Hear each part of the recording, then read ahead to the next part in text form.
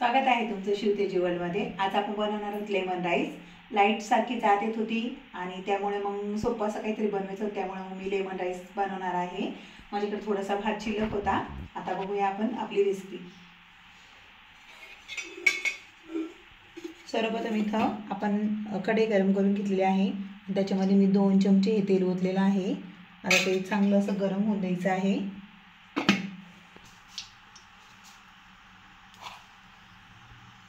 आता आपलं तेल गरम झालेलं आहे. त्याच्यामध्ये आपण इथे एक चमचा मोहरी टाकलेली आहे. त्याचबरोबर एक चमचा आपण इथे जिरे देखील टाकलेले आहे. त्यासोबत कढीपत्ता.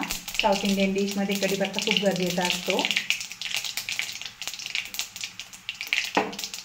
या स्टेजला आपण त्याच्यामध्ये शेंगदाणे टाकून घ्यायचे आहे.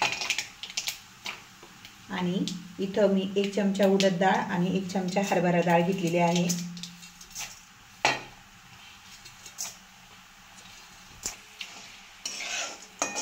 आता हे सर्व इथे भाजून झालेलं आहे. त्याच्यामध्ये आपण हिरवी मिरची टाकून घेणार आहोत.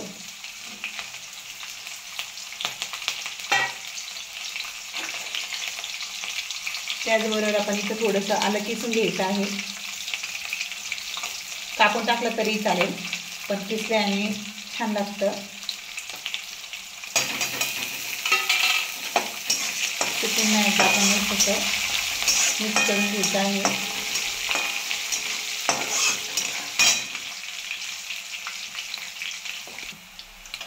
आता आपण हे सर्व परतल्यानंतर इथे शिल्लक राहिलेला आपला भात किंवा ताजा भातही टाकू शकतो. तो टाकून घ्यायचा आहे.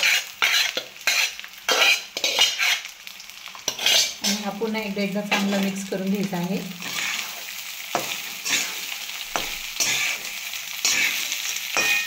याला तुम्ही परतवणीचा भातही बोलू शकतो.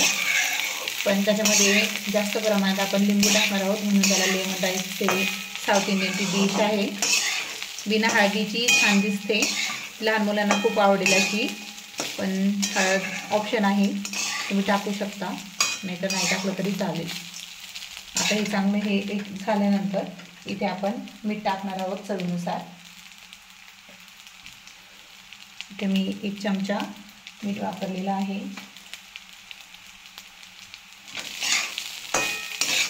एकदम मिक्स करून घेऊया.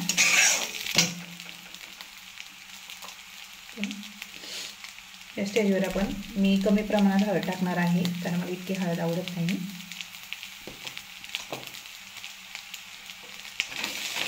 ते आपण एकदा थोडी मिक्स करून घेऊया.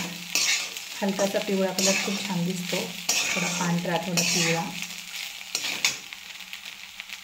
आपण या स्टेजवर आपले लिंबू पिळून घ्यायचे आहे. इथं मी छोटे लिंबू होते म्हणून दोन घेतले आहे. तुम्ही एकही लिंबू घेऊ शकता मोटा असेल तर.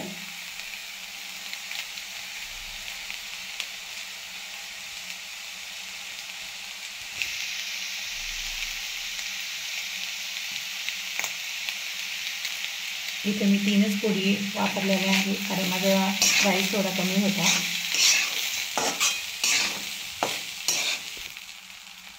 आता इथे सर्व काही आपलं टाकून झालेलं आहे.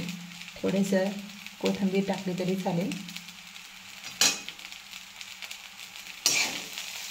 आणि चांगला असा आपण परतून घ्यायचा आहे दोन मिनटावर. मग आपण आपली डिश सर्व करायला घेऊया अशा प्रकारे आपला हा लेमन राईस तयार झालेला आहे. आता आपण तो सर्व करून घेऊया.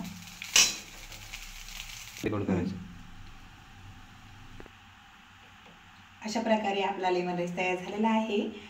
तुम्हाला जर हा व्हिडिओ आवडला असेल तर लाईक करा शेअर करा आणि माझ्या चॅनलला सबस्क्राईब करा. आणि रेसिपी आवडली असेल तर कमेंट करायला विसरू नका. बाय